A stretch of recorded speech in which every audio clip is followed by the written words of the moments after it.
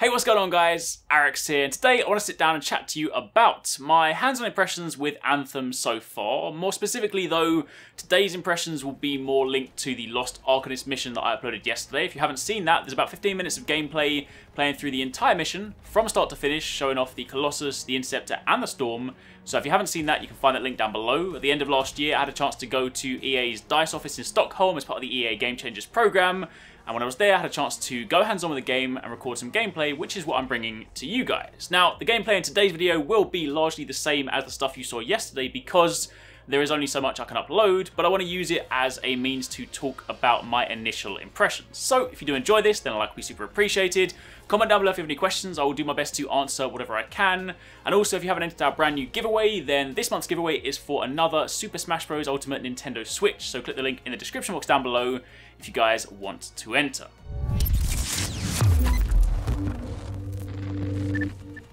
Now, to begin with, again, just to give you some context as to what I want to talk about, when you get a chance to play a game early, it's really awesome experience. It puts you in a rather unique position because, of course, I can come and chat to you guys about the game, but at the same time, there will naturally be questions that you guys will want answers to that I just simply can't answer. For example, you probably want to ask things like, hey, what's the end game like? And the answer is, I don't know. I haven't played that stuff. Bear in mind, when I was in Stockholm, what I played was the very early part of the game, so I'm playing with javelins that are pretty early on that don't have a great degree of upgrades or, you know, have essentially base abilities. So what I'm speaking more so about in this video is the general feel of the game, how it feels to play, the kind of moment-to-moment -moment gameplay when you're shooting things, when you're flying around, when you're collecting things, when you're just experiencing the early game missions. Of course, the stuff that I want to know about myself, the end game stuff, is stuff I still have to discover, so that is of course a topic for another time. But for me personally, when you're playing a game like this, one of these looter shooters so to speak, there are two incredibly important things. The first one is the gameplay, it's how it feels, because if you're going to be playing this game for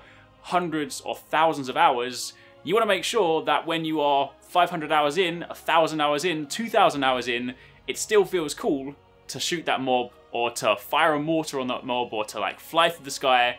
That's incredibly important. Of course, the other side of it is the end game. It's ultimately what will keep me playing, and that is something I still ultimately don't know about just yet, and hopefully we'll find out more about that, you know, later on this month as we get closer to launch. But again, I want to speak more so about the gameplay because I've had a chance to play this game at various different occasions. You know, I played it E3, I've played different builds, and every single time I've played it, it has got and felt better and better. You know, I cast my mind back to some of the earlier times when I had a chance to play through, and, you know, while ultimately it still felt good, there were some things that I was like, you know what, that's not quite right, that doesn't quite feel great right now, and, you know, I've always been quite vocal about that. I've always made sure to, you know, communicate that, as have plenty of other people. And I can say that the game and the build that I played at the end of last year is in a really, really good position. It honestly feels very, very good to play. Anthem's one of those things where when I first saw it in the trailer, I think back to the very first trailer they showed when they, you know, when they announced the game, you see something like, you know, a mech suit essentially flying through the sky and you're like, that looks awesome. But the question is, how does that actually feel when you play? And genuinely flying, you know, from the simple thing of jumping off the ground, activating your boosters and just flying through the sky feels incredible. And that's also coming from someone, let me tell you, who cannot fly a plane or a vehicle in most games to save his life. If you want someone to fly a plane or a helicopter, that's not me. But in Anthem, flying your Javelin is very easy, very fluid, and feels really good. And of course, because that's going to be the main way that you get around the world, it's important that does feel good. So I play through the majority of my time playing on control pad. You can of course do this with mouse and keyboard.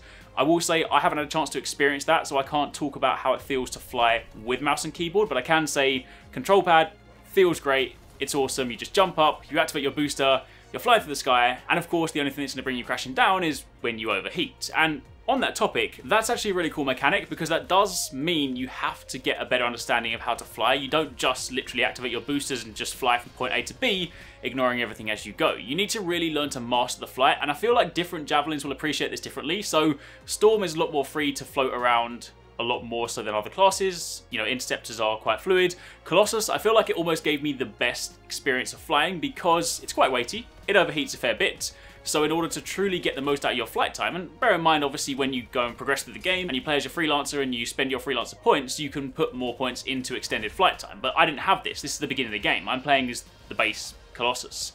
But I feel like playing as the Colossus kind of taught me to fly really well. And you might not necessarily see that in this gameplay. There's some stuff that I have to show you, you know, coming soon, so stay tuned for that. But the point is, when you're flying as the Colossus, you end up really using what you have at your disposal to try and extend that flight time. You know, when you're flying down, for example, you're not overheating because you're falling. When you are flying above water, and this is the really important thing, this is going to be one of those things where I actually can't wait to see when I have the full game quite how far you can fly without overheating because you can skim over a lake, and while that doesn't cool you down, it does stop you from overheating. So if you fly super close to the ground and there's a body of water, whether it be a lake, a pond, even like a little puddle, if there's a body of water, you can use that to kind of extend your flight time, which is really useful. And of course, you can also then, you know, get yourself really high up and then dip down again. So there's a lot of interesting ways to fly, and I feel like the fact that I picked the Colossus, not just because I'm a Colossus fanboy, but also because it was just, you know, rather convenient, I feel like I got more out of the flying experience because I had to really use that and that kind of gave me a better appreciation for how it felt. Now, in terms of gunplay, gunplay is really, really cool. It genuinely does feel good to fire the weapons. You have that nice weight to it. It feels good. It sounds good. Now, I will say there is one thing that, for me personally, as someone that played the Colossus, I feel like it might have slightly ruined the other weapons for me. So the Colossus, as I'm sure you guys know, is the only one of the Javelins that can use the heavy weapon. So it's the only one that can use the uh, railgun, the machine gun, grenade launcher, things like that. There is a light machine gun, which everyone else can use, but you go in and you use this and it feels awesome. It starts spinning up and it's just like, and it's just like a really, really cool weapon. But you then go back and you use a weapon like an assault rifle, a light machine gun, basically the weapons that every other Javelin can use, and suddenly you're just like, this doesn't feel as strong. I mean, it is strong. It's perfectly viable. In fact, on the completely opposite end of the spectrum, the handgun that the Interceptor and the other classes can use, like the, you know, the light weapons, they're actually really powerful. Really, really powerful. So, in terms of actual damage, actual output, it's, it's great. But I went along playing for the whole day as the Colossus, using this big machine gun, and anytime I was using something that wasn't a machine gun, I always felt like I was doing myself a disservice. But I'm sure that's something that I'll, you know, change my mind of once I start getting like legendary assault rifles or legendary snipers or shotguns. Shotgun's a really cool one. That's something I did actually test out a fair bit a little bit later on because that tends to be a pretty good thing for a Colossus because you will be up close and personal, you'll kind of run in with them, and then you kind of want to switch to it if you want to sort of take something out quickly. So that is actually a pretty cool loadout. But in terms of actual gun feedback, it definitely feels good to take out your enemies, which is incredibly important because you're going to be shooting a lot of enemies in this game throughout your journey. And on top of that, the other cool thing to experience as well is, because I had a chance to play the other Javelins, but when playing as Colossus, is just how the actual mechanics differ as well. Obviously, you know, visually, they're very different, they all have their own unique abilities, they play differently, but also in terms of, say for the Colossus, the way your health and shield is managed is actually presented quite differently. You know, you have the Ranger, you have a shield bar and you have a health bar, as do you with the Interceptor. I believe the Storm is a little bit different because you want to sort of fly up to actually make sure you activate it, but with the Colossus, your default health bar is just health, no shield. The only way you actually have a shield is when you physically bring your shield out. When you bring it out, you'll see this little half circle, which is your shield bar, and that is essentially how the shield works for Colossus. So if you're running around with no shield out, you have no shield, which obviously makes sense when you say it, but when you think about it from a gameplay point of view, it's like, ah, okay, that makes sense. So that was a cool thing to actually kind of get my head around. It is still definitely the tanky one, but you also want to make sure that if you are running in, you're going to need that shield. So that was kind of a cool thing to, to, you know, get a feel for. And of course, then when you start thinking about it with the other javelins, they are more than just, you know, slightly different abilities and slightly different weights. They also do play quite differently as well, which is a lot of fun. So all up, I will say so far, I've had a great degree of fun playing Anthem. It is hard, again, to try and sort of take what I've done in sort of a condensed four or five hour window and extrapolate that to like a 50, 500 or 5,000 hour window and be like, is this still going to be fun?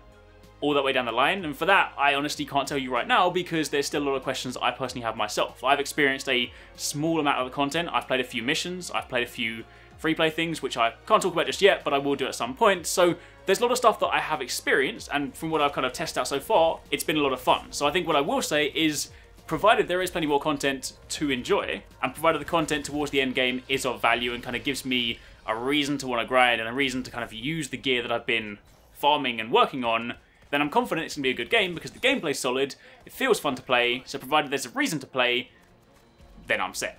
So that's kind of all I can say for the time being. There is only so much I can talk about right now.